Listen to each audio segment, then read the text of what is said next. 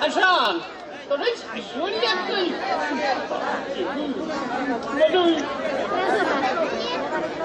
কিছু আগায় বাবা কিছু ভারী মজা শ্বশুর বাজারকে বিয়ে করেছে? বিয়ে করেছি কিনা? বিয়ে না করে আসলো তোরে কত টাকা আপনার কোনো ছেলে ফেলে হয়নি শ্বশুর বাজার? কপাল আমার কপাল আমার জামাই কয় আমার ছেলে পেলে হয়তো কিনা? কষ্ট দেখি আমি আমি কোন দিকে যাই? হ্যাঁ? তোর বাড়িয়ে হয়তো পা গুঁড়ো এবার দেখেছিস হ্যাঁ তাহলে আমি শ্বশুর তুই, হ্যাঁ? এই যে অবস্থাটা করছ তাতে তাতে তুমি বুঝতে পারছিস না তো গোস্ত খাবা নাকি করি হ্যাঁ? তোর সাথে নিয়ে বিয়ে আমি সাই খাইছি সাই ছাই খাতে কেন? আমার কাছে করলেই তো দশ কেজি চাল পাঠা দিতাম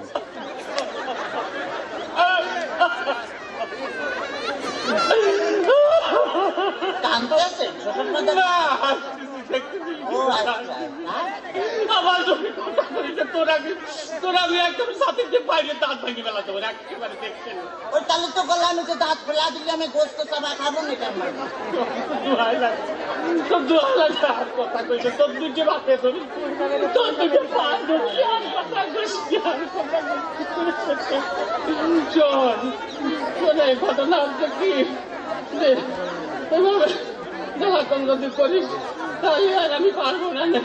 আমি আটষট্টি হাজার গ্রাম মেয়ের বাপকে বলব যোগো মেয়ের বাপরা তোমরা আমার মতো এইরকম হারামি কথা সওয়ালের সাথে বিয়ে দিয়ে দিয়ে মেয়ে বিয়ে দেওয়ার আগে বাজে থাকবা যে সেই মেয়ে সেই মেয়ের জামাই ভাত কাপড় দিতে পারে কিনা জামার বাড়ি ঘর দূর আছে কিনা জামাই ঠিক মতো মেয়ের পাশে মানাই কিনা তারপরেই তোমরা মেয়েকে বিয়ে দিও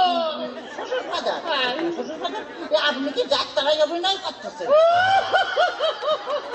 আব্বা আব্বা শ্বশুর বাজার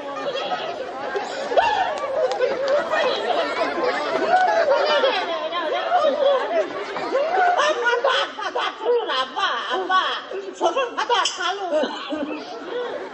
আমারই দোষ। খালি আমারই দোষ তোমার মেয়ে বিয়ে করে আমি যে ফকির হয়ে গেছি খালি টাকা চাই। হ্যাঁ খালি টাকা চাই। আজ এক হাজার। আজ এক হাজার কাল এক হাজার পরশু দিন পাঁচ হাজার তারপরে দশ হাজার। খালি টাকা চাই আর টাকা চাই। তোমার মেয়ে আমার ফকির বানা ফেলেছে। ফকির বানা ফেলেছে? হ্যাঁ। বলি এত টাকা মেয়ে করে টাকি এত টাকা কি করে তা আমি কি করে কব আমি কি কোনোদিন দিছি নাকি ধন্যবাদ মোহাম্মদ আমিনুল ইসলাম। আর আমি নন্দীগ্রামী ছেলে, নন্দীগ্রাম পাইলট হাই স্কুল থেকে এসেছি এবং বগুড়া থেকে আমি ইন্টারমিডিয়েট করেছি। এখন বগুড়াতে আমি বিএসসি করতেছি ত্রিপলিতে। তো আপনাদের দয়া, আলহামদুলিল্লাহ ভালো আছি। তো আমি চেষ্টা করব আপনাদেরকে কিছুক্ষণের জন্য বিনোদন দেওয়ার জন্য। হ্যাঁ আপনারা সবাই একটু মনোযোগ সহকারে শুনবেন। তাছাড়া বুঝতে না পারলে কিন্তু হাসতে পারবেন না, ঠিক আছে? তো আমি যেহেতু এখন ঢাকাতে থাকি, যাই হোক ফার্স্ট টাইম আমি যখন ঢাকাতে যাই, আমার এলাকারই একজন ছেলে, যাই হোক, নাম বলব না, ও যে দুপুর হয়ে গেছে, ওর ক্ষুদা পেয়েছে, তো এখন ও খাওয়া দাওয়া করবে। তো ও খাওয়া দাওয়া করবে কোথায় বুঝতে পারতেছে না, যেদিকে তাকাই সেই দিকে খালি গ্লাস আর গ্লাস। ঠিক আছে? তো তারপরে এক ছেলেকে বলল, ভাই, আমি একটু ক্ষুধা পেয়েছে, একটু খাবার হোটেল যদি দেখে দিতেন ভালো হতো। তো ওকে দেখে দেওয়া হয়েছিল, ঠিক আছে জসকোট ঠিক আছে? তো জজ কোর্টে গেটে যে দাঁড়াইছে উনি এখন জাজ বিচার করতেছে, বলতেছে অর্ডার অর্ডার অর্ডার এখন ও কোনো কিছু না বুঝে বলছে, ভাই, দুটো সিঙ্গের এক কাপ চা। যাই হোক, তারপরে একদিন ক্লাসে ক্লাস নিচ্ছিলেন স্যার। স্যার বলল, আমাদের প্রত্যেকেরই উদ্দেশ্য স্বর্গ অথবা জান্নাতে যেতে চাই আমরা সবাই। আমরা সবাই এটাই চাই। তো এক সবাই বলল, কারা কারা জান্নাতে যেতে চাও? হাত তোলো তো। সবাই হাত তুললো, একজন আর তোলে না। বলে, ভাই, আপনি হাত তোলেন না কেন? আপনি যাবেন না জান্নাতে? কয়, না। তা কেন? আম্মু বলে দিছে, ক্লাস শেষ করে সোজা বাসায় যেতে হবে। যাই হোক তারপরে তিন দেশের বন্ধুত্বের রাজনীতি লাগে গেছে, সেই গল্প। দোস্ত, আমার দেশ তো সেই উন্নত। কেন, তোর দেশ কি করছে? আমার দেশে একটা সাবমেরিন তৈরি করছে, যেটা সমুদ্রের নিচ দিয়ে চলে যায়। এখন আরও একটা দেশের, ও বলছে, আমার দেশ তো আরও উন্নত। একটা বিমান তৈরি করছে, আকাশের উপর দিয়ে চলে। তো এখন বাঙালি তো মেড ইন বাঙালি বুঝতেই পারতেছেন। ও বলতেছে, আমার দেশ আরও উন্নত। তোর দেশ কি করছে? তো আমার দেশ নাক দিয়ে ভাত খায়। এখন লাভ দিয়ে ওঠে, নাক দিয়ে খায় মানে এটা কেমন কথা? না ওই দুই তিন আঙ্গুল নিচে দিয়ে। তো যাই হোক এক চাচাকে বললাম চাচা আপনার ছেলে মেয়ে কয়জন? বলছে ছেলে মেয়ে একটা ছেলে একটা মেয়ে। তো বেশ কয়েক বছর পর আবার জিজ্ঞেস করলাম আপনার ছেলে মেয়ে এখন কয়জন? বলে এখন পাঁচটা ছেলে তিনটা মেয়ে। আমি বললাম চাচা কি ব্যাপার? এতগুলো কেন? আরে বকা আগে করছি পরিবার পরিকল্পনার চাকরি। দুটি সন্তানের বেশি নয় একটি হলে ভালো হয়। আর এখন করি কৃষি অধিদপ্তরের চাকরি, যত বড় ফলন বাড়াও। যাই হোক, এখন তো খুবই বেহাল দশা। ফেসবুক আসিয়া মনে করেন সব দেখা হেলে দিচ্ছে। কি জন্য?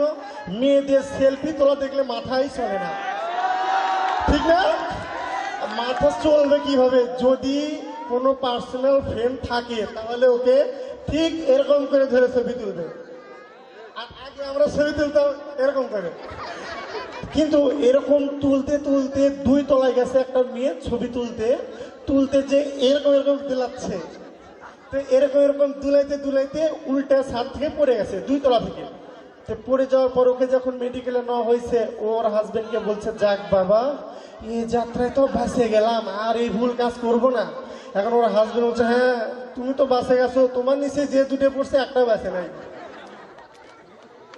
যাই হোক, আমি আবার টিউশনি করতাম, ঠিক আছে? কারণ আমি নন্দিকে আমি ছেলে, প্রথমে যখন বগুড়া যায়, আর্থিক অনেক প্রবলেম দেখা দিয়ে টিউশনি করতাম।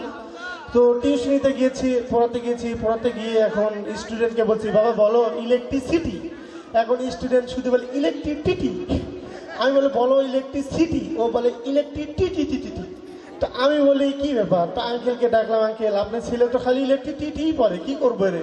এখন আঙ্কেল বলে, বাবা, কি আর করব বলেন? ওর মাথায় একটু ক্যাপাসিটি কম তো। তো এখন আন্টি আমাকে নাস্তা দিতে আসছে। আন্টিকে বললাম, আন্টি, আপনাদের মনে হয় সবারই একটু মুখের জড়তা আছে? একটু চকলেট অথবা কিছু খেয়ে নিন, তাহলে কমে যাবে। অথবা ডাক্তার দেখেন। আন্টি এখন বলে কি কি আর বলব স্যার? সবাই তো আর আপনার মতো ভারটি স্টুডেন্ট না।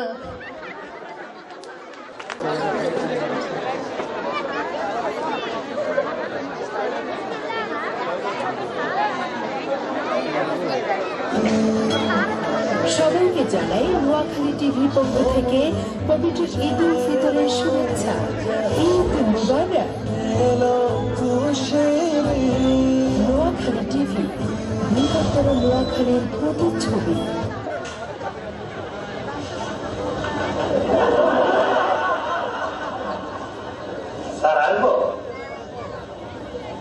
এসে তো করেছেন। স্যার এই ধরো একটু বাধা যায় দিতে তাই ভিতরে প্রবেশ করে ফেলাইছি স্যার। আচ্ছা বসেন। বসতেন না বললে বসতাম স্যার। স্যার।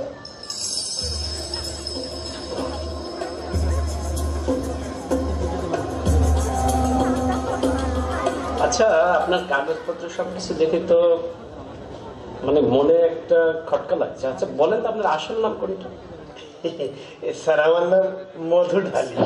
মধু ঢালি এটা কোনো নাম হলো? এই আপনার অফিসে ঢোকার সময় তো নেম প্লেটে লেখা দেখলাম শিশি পাতি। তা স্যার আপনার নাম যদি শিশি পাতি হয় তাহলে আমি মধু ঢাললে দোষ কোথায় স্যার? ঠিক আছে আচ্ছা আপনার বাবার নাম কি? বাবার নাম স্যার কোনটা যে বলুন? কোনটা বলি মানে কেন স্যার?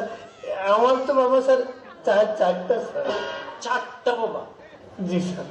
যেমন এই একটা হলো স্যার আমার নিজের বাবা একটা উকিল বাবা একটা পীর বাবা আর একটা হলো গিয়ে স্যার আমার শ্বশুর আব্বা।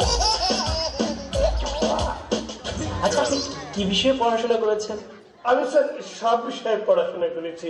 এই যে মনে করেন বাংলা ইংরেজি ফিজিক্স কেমিস্ট্রি জুওলজি ফিলোসফি আচ্ছা এই আপনাকে মানে একটা সাধারণ জ্ঞানের কোশ্চেন বলেন তো সিডনি কোথায় অবস্থিত? Sir Sydney? এইটা তো স্যার ফিজিক্সের প্রশ্ন। স্যার পাইছি স্যার। আমার বাম পাশে হইল কিডনি আর আমার ডান পাশে সিডনি স্যার। মানে আপনার ডান পাশে সিডনি। অর্থনীতি সম্পর্কে কিছু বলতে পারবেন? মানে অর্থনীতি কাকে বলেন এই দেশি সংজ্ঞা বলব না বিদেশি সংজ্ঞা বলব স্যার? মানে আপনি পরীক্ষার খাতা যেটা লিখেছিল কি বলেন? এই যে স্যার মনে করেন অর্থনীতি স্যার স্যার যেই নীতি অবলম্বন করিয়া অন্যের সরি স্যার সরি স্যার মানে বলছিলাম যেই নীতি অবলম্বন করিয়া অন্যের পকেট হইতে নিজের পকেটে অর্থ আনয়ন করা হয় তাহাকে অর্থনীতি বলে স্যার। আপনাদের মতো লোকদের তো এরকমই অর্থনীতির সংজ্ঞা দিতে হয়। পৌরনীতি কাকে বলে? পরিণত হইলে গেছে পৌরসভার ভিতরে বাহিরে যে সকল সুনীতি ও দুর্নীতি বাস্তবায়িত হয় তাহাকে কি এত চমৎকার অ্যান্সার আপনার। আচ্ছা সংস্কৃতিটা বাংলায় বানান করেন স ন ই সংস্কৃতি মানে কি?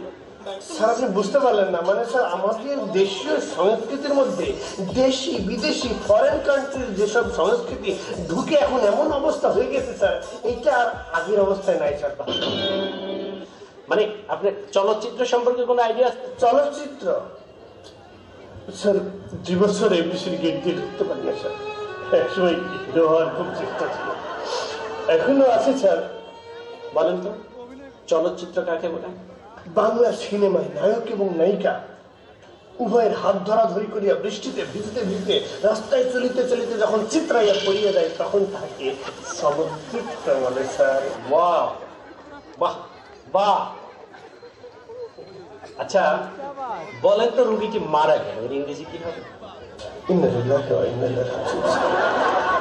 সরি স্যার আরবি বলে ফেলেছি। ইংরেজি স্যার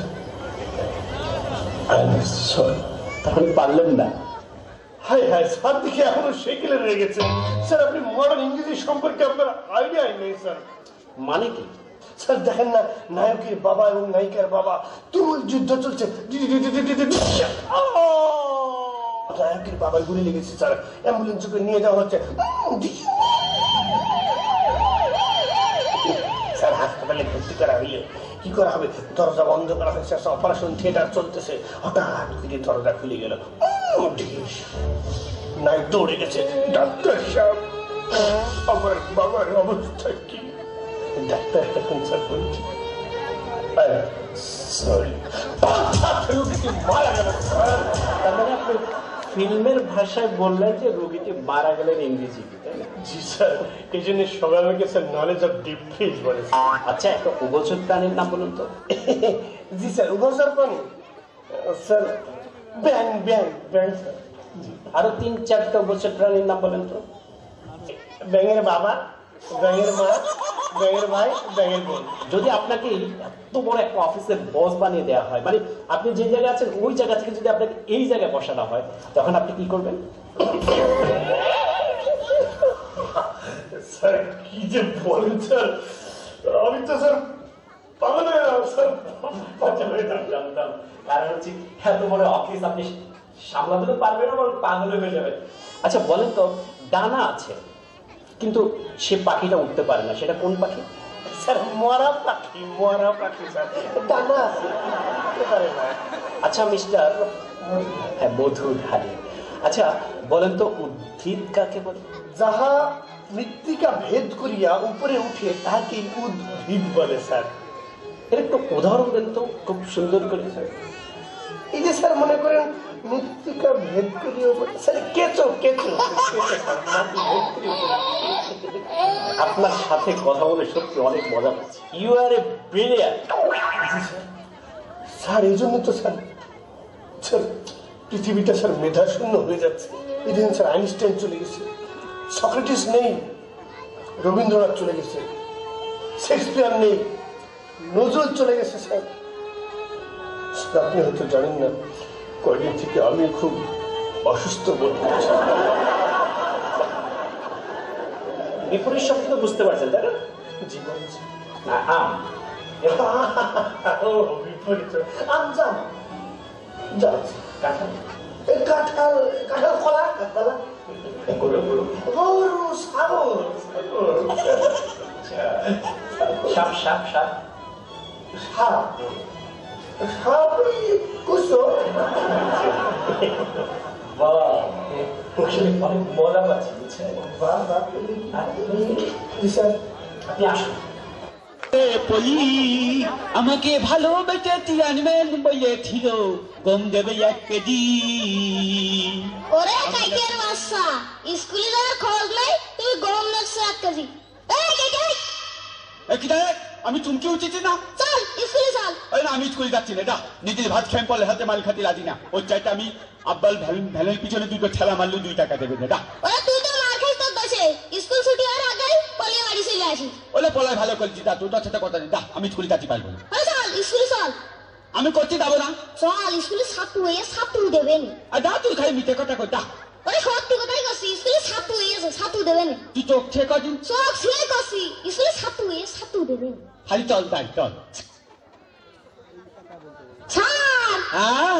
স্যার আমি না স্যার কাইকে ডাইকে নিয়ে আসি স্যার। যাক তুমি খুব ভালো কাজ করেছ। কাইটে বিথাল তুমি এসেছ কাইটে? এতে কি থাল আমি বড় খুশি হয়েছি। তুই হয়ে তো থাল আমি বড় খুশি হয়েছি। আচ্ছা। যাক কাইটে তুমি ওই কোনায় গিয়ে বসো। ওই কুনাল বেঞ্চিটি বসলেই থাল পাতার লাগবে না? আমি আহ, তাইলে তুমি ওই আমার সামনের বেঞ্চে কি বসো? আচ্ছা থাল থালি বদলাম কাইটে বিথাল আজকে আমরা ওয়াদাবদ্ধ হব। আচ্ছা থাল তার মানে এই যে আমরা অন্যায় করব না অন্যায় করব না। অন্যায়কে প্রশ্রয় দেবো না। দেবো না। এবং বিড়ি সিগারেট খাব না। বিড়ি সিগারেট খাব না। আমি তার বিড়ি সিগারেট খাওয়া বাদ দিয়ে দিয়েছি। তুমি বিড়ি খেতে নাকি? না তাহলে ওই আব্বার কাছে যখন ম্যাথ থাকতো না তখন তো কাছে ধরিয়ে দিয়ে তখন আমি দুটো তার মারতাম আসলে কি? আসলে ছোট ছোট ছেলে মেয়ে নষ্ট হয় বাবা মার দোষেই কিন্তু। যাই হোক কাইটে তাহলে আমি তোমার যা বলব তুমি তাই বলবা। আর কাইটে শোনো তুমি ঠিক আছো তো? দিই তাহলে আমি ঠিক আছে। আমার পঞ্জে প্যান্ট আছে তাহলে। যাক। নেই নেই আচ্ছা ভালো কথা। কাইটে দিঠাল। তাহলে আমি তোমার প্রশ্ন ধরবো তুমি প্রশ্নের উত্তর দেবা। দিই থাল দেবো দেবা তো? দেবো। আচ্ছা তাহলে তোমার থেকে শুরু। শুরু আচ্ছা। কাইটে? দিঠাল আমি তোমার প্রশ্ন করছি তুমি প্রশ্নের উত্তর দাও। আমি তোমার প্রশ্ন করছি তুমি তোমার প্রশ্নের উত্তর দাও। না ওই রকম বলবা না। আমি তোমার প্রশ্ন করছি তুমি প্রশ্নের উত্তর দাও। না ওরকম বলবা না। আমি তোমার প্রশ্ন করছি তুমি প্রশ্নের উত্তর দাও। আমি কি বলছি আর তুমি কি বলছো? আমি কি বলছি আর তুমি কি বলতো না না না আমরা আবার গড়ে চলে যাই। না না না আমরা আবার গলে চলে যাই। ওইভাবে বললে হবে না। ওইভাবে বললে হবে না। কি বলছো তুমি? কি বলতো তুমি?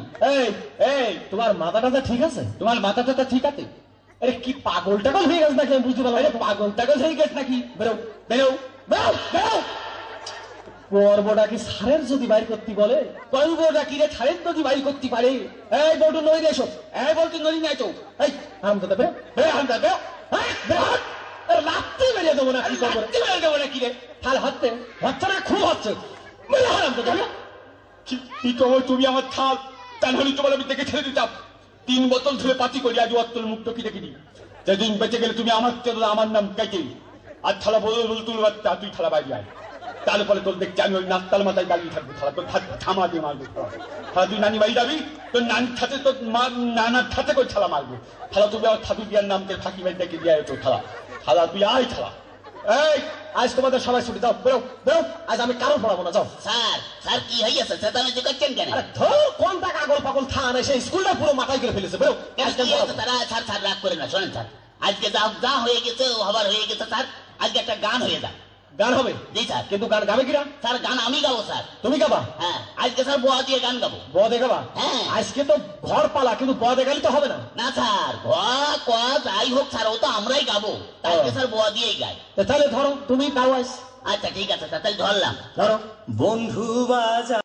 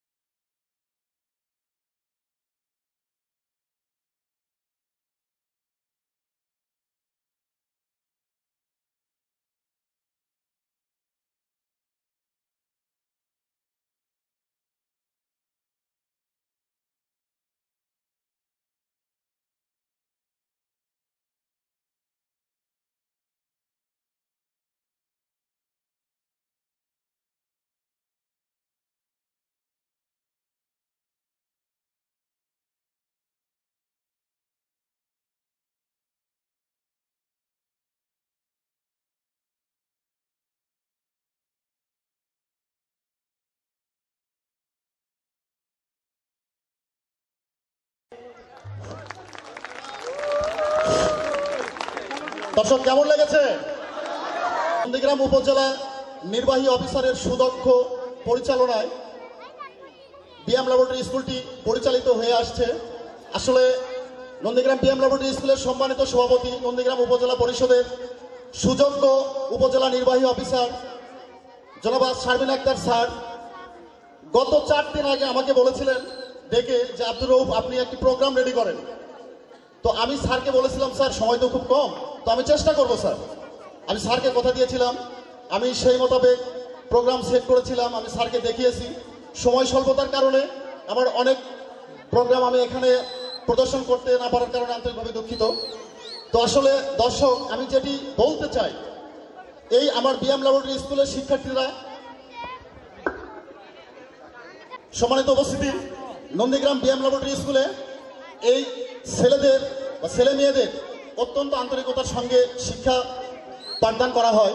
উপজেলা সুদক্ষ নির্বাহী অফিসারের দক্ষ পরিচালনায় এবং সুদক্ষ ম্যানেজিং কমিটির পরিচালনায় আমরা সার্বিকভাবে এক্সট্রা কারিকুলাম প্রতিনিয়ত তাদেরকে শিখিয়ে যাচ্ছি। জানি না কতটুকু আমরা তাদেরকে দিতে পেরেছি। তো তারই প্রতিফলন আজকে এখানে ঘটেছে। আমি আপনাদের কাছে আশা রাখব, যেহেতু বিদ্যালয়টি নন্দীগ্রাম উপজেলা স্টাফ কোয়ার্টারে মনোরম পরিবেশে অবস্থিত এবং সুযোগ্য উপজেলা নির্বাহী মহোদয় স্যারের সভাপতিত্বে পরিচালিত ঢাকা বিএম ফাউন্ডেশন থেকে তত্ত্বাবধানে পরিচালিত। সেহেতু আমি আপনাদের কাছে একটু মেসেজ দিতে চাই। আপনারা আপনাদের ছোট্ট ছোট্ট সোনামণিদের নন্দীগ্রাম উপজেলা বিএম লাউন্ডি স্কুলে ভর্তি করিয়ে দেবেন। আমাদেরকে সহযোগিতা করবেন। আমরা চেষ্টা করব আপনাদের ছোট্ট সুন্দর সোনামণিদের ভবিষ্যৎ গড়ে তোলার জন্য। সম্মানিত সুধী, আসলে এটুকুই ছিল আমার বক্তব্য।